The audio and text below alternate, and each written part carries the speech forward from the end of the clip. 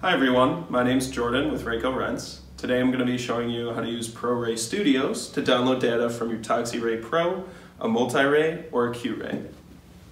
If you haven't already done this, uh, the first thing you're going to need to do is get the ProRAE Studios installed on your computer, and we do provide a CD for that with every rental. So go ahead, put the CD in the computer, and then it'll prompt you, you know, it'll show up uh, asking if you want to run the install file, and we're going to run that to begin it. So in our situation, we've got a USB flash drive, and this is the application that we want to run. You can see it brings up the install window here. So we're going to get ProRAE Studio 2. And then follow the steps for the install here.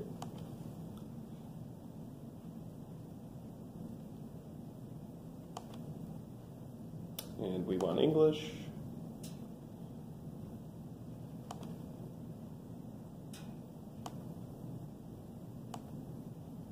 Okay, so now we got ProRAE Studio installing. Once that's finished, we're going to want to install the drivers so that the computer can communicate with these instruments. And that's right here.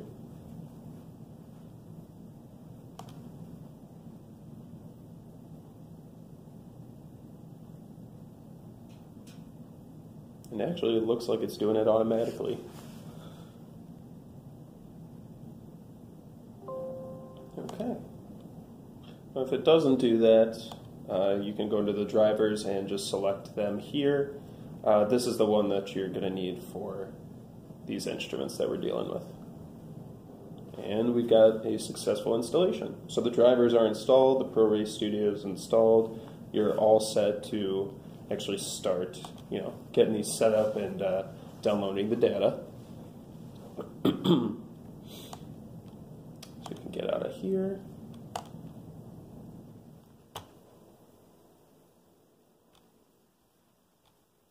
And let's open up ProRAE Studios. Okay, I guess we have to register here in this situation. So let's just go ahead and fill in some info.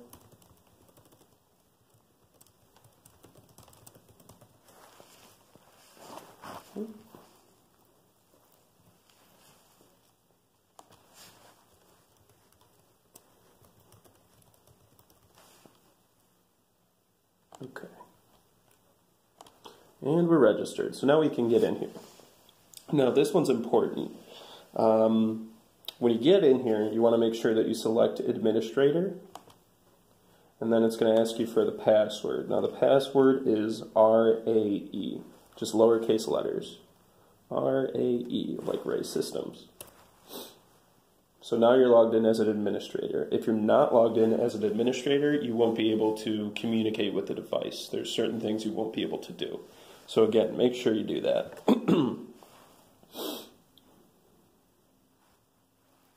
and it'll come up with this update. Uh, we're not going to do that right now, but you know, it's best to keep your software updated. Anyway, we're all set now here to actually plug the unit in and get this data downloaded.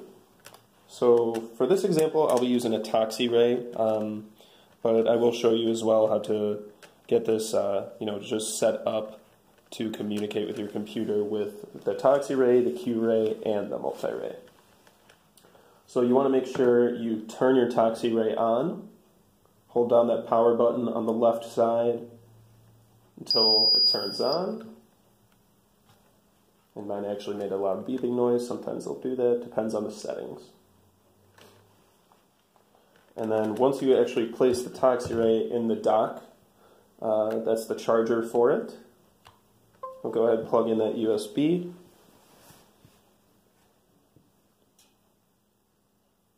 Now the ToxiRAE does need to warm up a bit. It takes about a minute to actually uh, get set and ready to communicate.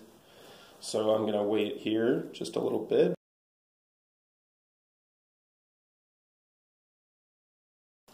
Okay, now my ToxiRAE is ready to go. So all we need to do uh, to enter communications mode, and again, you need to do this with all three or all of the RAE Systems products. Um, you're just going to hit, for the ToxiRAE, the power button on the left side, and you'll hit that one, two, three, four times. And then it'll prompt you, it'll say enter communications and stop measurement. We're going to hit yes.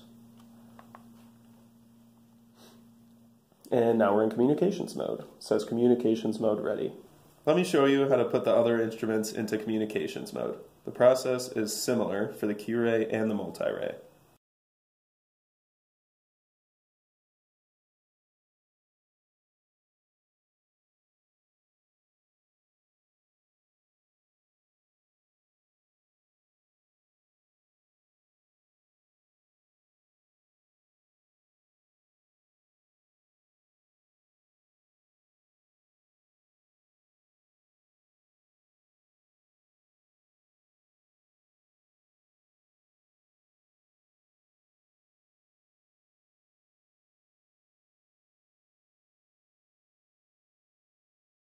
So now we can actually take a look in the software, make sure this is popping up.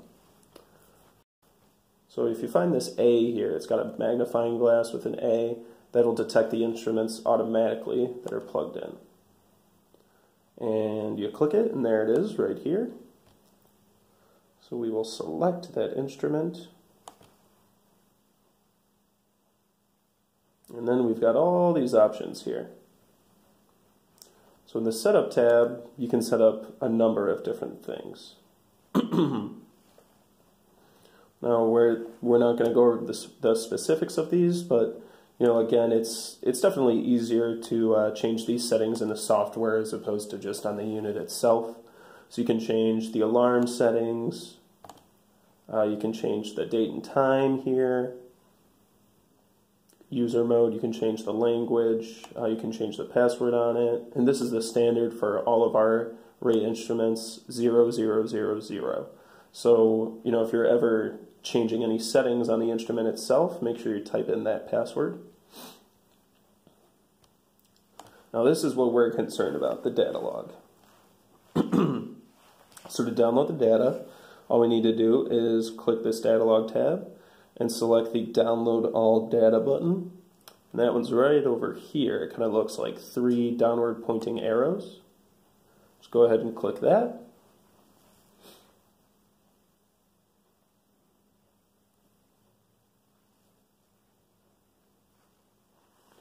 And now all of our data from this unit is downloaded. And you can see some of them have these red zeros on them.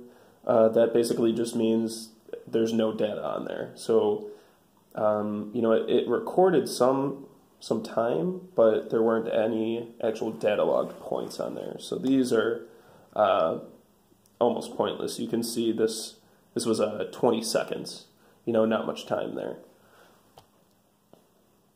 If we go into this one, this one ran for a few minutes.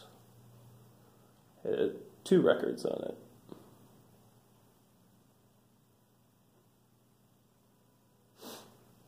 Okay, so now let's just look at how we can actually download this data. So we have it downloaded into the software. Now if you want to actually download it to, you know, save on your computer or send to somebody else, we need to export this data. So, let's say we want to download this one. Now you can also, if you hit control, if you hold down the control button on your keyboard and then select, you can select more, more than one at a time. Now in this case, we'll just do one.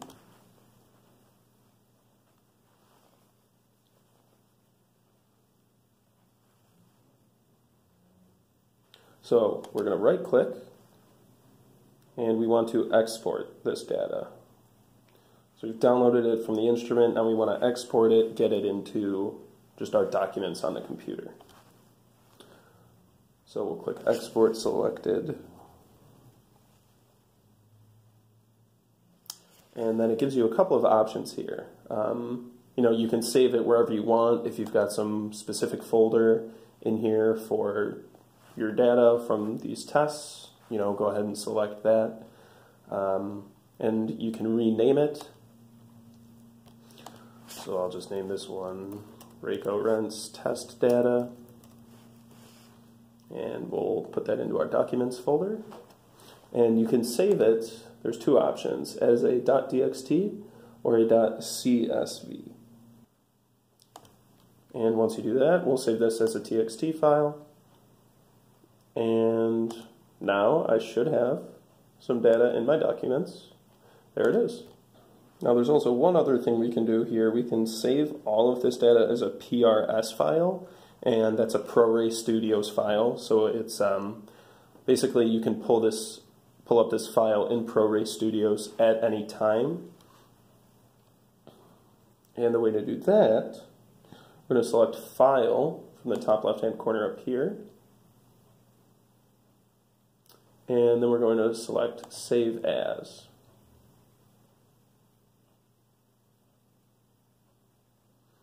and you can see it'll automatically save it as a PRS file. And again, we could just type in RAECO runs test data uh, 2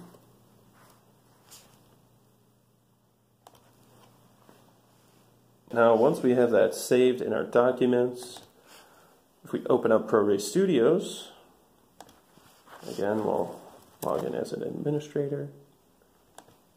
Now from here, you can actually open up those PRS files that you've got saved. So once I get this out of here,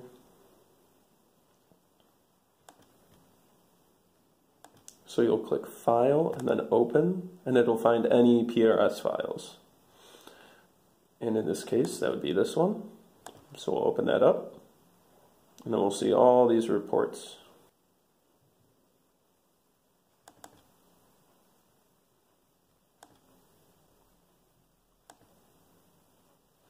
And there it is.